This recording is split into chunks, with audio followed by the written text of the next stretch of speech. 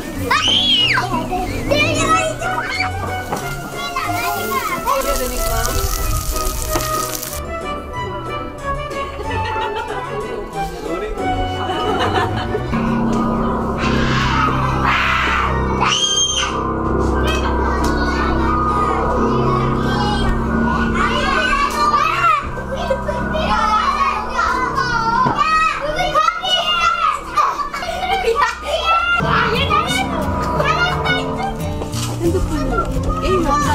가면 이제 다 다른 초등학교로 다 그래도 저는 어, 옛날 10년 전에 결혼하기 전에 이혼했을 때도 거기 반지 그쪽 초등학교가? 근데 거기가 임대 뭐 있잖아요. 그래서 아, 애엄마들 아, 쫄쫄이 보다 레깅스 열대 명.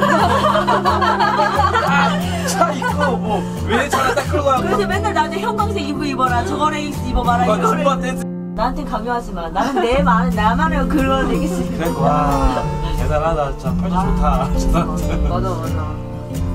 울면서 그렇게 할 수 있다면 진짜 팔자 좋다 그러면 되지. 잘생겨도 되고. 블루가 있어. 어. 근데 이게 그런 거 같아 진짜 만약에 좀 잘 살고 하는